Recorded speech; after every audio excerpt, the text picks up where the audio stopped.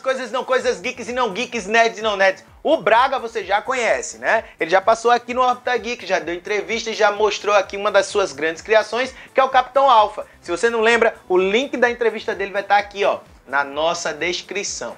Mas, como eu já disse, o Braga você já conhece. E um cara que tem várias obras no seu currículo só merecia o quê? Uma exposição. E neste dia 6 do 10, às 19h30, no Ambiente Cultural 243, 243, na Avenida Santos Dumont, nos Aflitos, vai ser inaugurada a exposição Traços onde o artista retrata com várias técnicas o sentimento ao ver o homem nordestino e retrata todo sentimento, toda a luta, toda a força deste povo sofrido e feliz. Então vai lá ver, apreciar, sentir, se emocionar e, né, é o Braga, cara. É o Braga. O Orbita Geek vai estar por lá e quer encontrar vocês, né?